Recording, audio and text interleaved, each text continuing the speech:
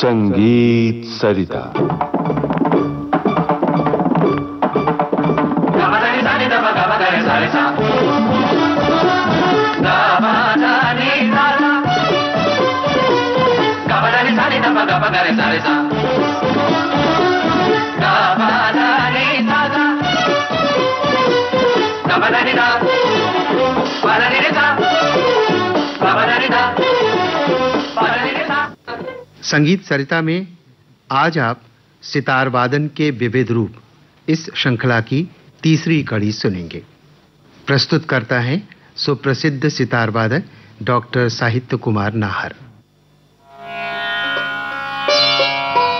ये प्रस्तुति है आकाशवाणी के इलाहाबाद केंद्र की। श्रोताओं नमस्कार। आज हम तंत्रवाद्य सितार पर बजाए जाने वाले ताल में निबद्ध रचनाओं के संदर्भ में बातचीत करेंगे, जिस प्रकार गायन में शब्द एवं स्वर से युक्त तालबद्ध गेय रचनाएँ, ख्याल, ध्रुपद, धमार, ठुमरी इत्यादि के नाम से जानी जाती हैं, उसी प्रकार स्वर वाद्यों पर प्रस्तुत किया जाने वाला तालबद्ध स्वर रचनाएँ गत कहलाती हैं। मोटे तौर पर इन सभी को बंदिश कही जाती है। जब लय और ताल की बात होती है तो हम सभी जानते हैं कि संगीत में लय तीन प्रकार की होती है, विलंबित, मध्य एवं द्रुत। और इसी आधार पर विभिन्न लयों में प्रस्तुत किए जाने के अनुसार गत भी विलंबित गत मध्यलय गत तथा द्रुत गत के नाम से संबोधित किया जाता है। सबसे पहले हम विलंबित गत की बात करेंगे। स्वर वाद्यों में जहाँ विशेष बोलों का प्रयोग नहीं किया जाता, वहाँ तो ये विलंबित गत ही कहे जाते हैं। लेकिन चूँकि सितार तंत्र वाद्य है, जहाँ दाहिने हाथ के लिए कुछ विशेष बोल निश्चित किए गए हैं, जो हैं दा, रा, दिर, दा, दिर दारा द्रा दारा दार दा दारा। इन निश्चित बोलों का प्रयोग सितार वादन के क्रम में किया जाता है। और जब ये बोल विलंबित गत में स्वरों के साथ आबद्ध होकर बजाए जाते हैं तो उन्हें मसीद खानी गत के नाम से संबोधित करते हैं।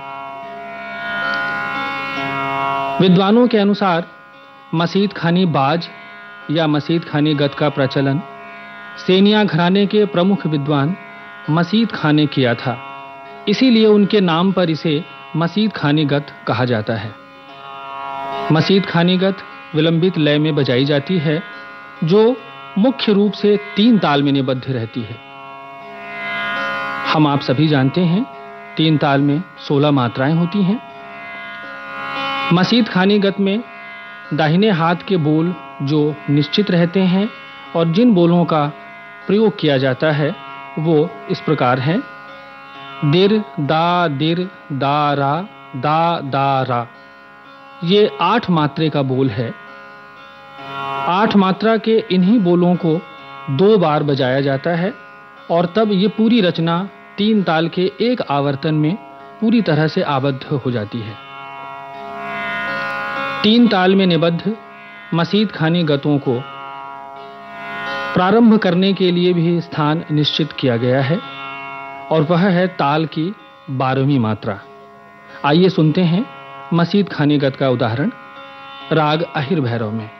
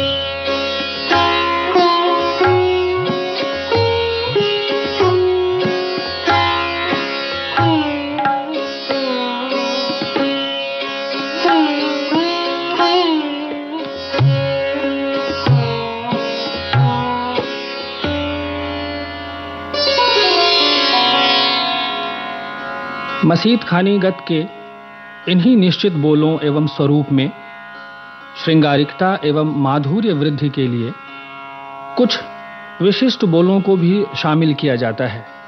सितार वादन में जब दाहिने हाथ के बोल दा और रा को विभिन्न मात्राओं और छंद के अनुरूप प्रस्तुत करते हैं तो उन्हें फिकरा कहते हैं। और इन्हीं फिकराज को भी जब मसीद खानीगत में प्रयोग किया जाता है तो उसका स्वरूप कुछ इस प्रकार हो उठता है। आइए सुनते हैं।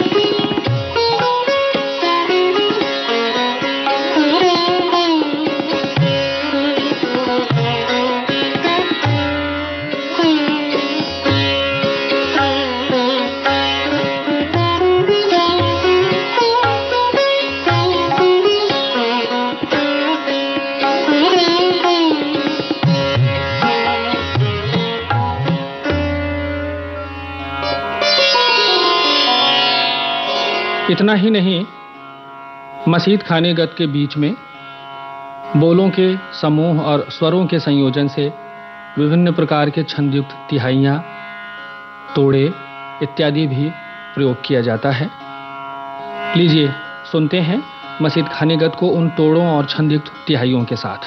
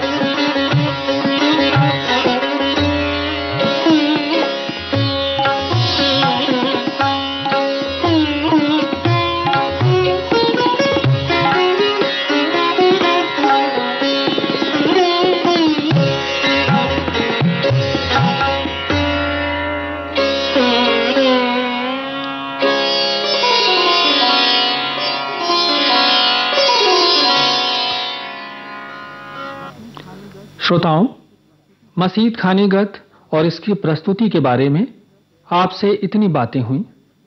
अब आइए सुनते हैं श्रीमती जया विश्वास का बजाया, राग नट भैरव में मसीद खानीगत।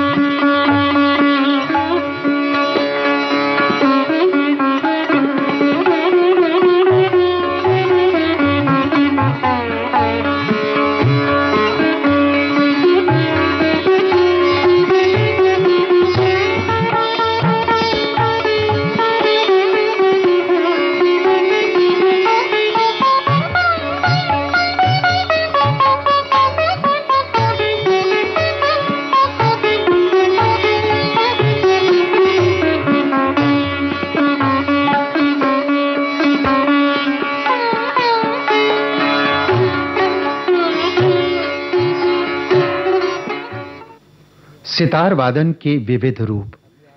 संगीत सरिता में अभी आप इस श्रृंखला की तीसरी कड़ी सुन रहे थे। प्रस्तुत करता थे सुप्रसिद्ध सितार वादक डॉक्टर साहित्य कुमार नाहर।